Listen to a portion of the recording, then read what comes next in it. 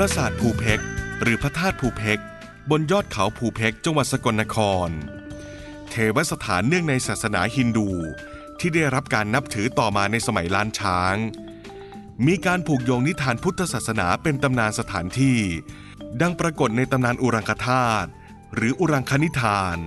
กล่าวถึงอุโมงค์ภูเพกบนดอยแท่น เคยเป็นที่ประทับหนึ่งของพระพุทธองค์ครั้งพุทธกาล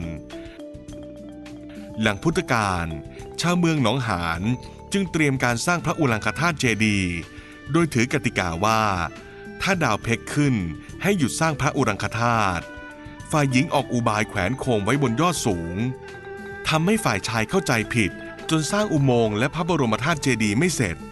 จึงพ่ายแพ้ ได้ชื่อว่าภูเพกมุสา ส่วนฝ่ายหญิงที่ชนะเป็นผู้สร้างพระธาตุนารายเจงเวง ในพื้นที่ราบจังหวัดสกลนครนั่นเอง กรุงศรี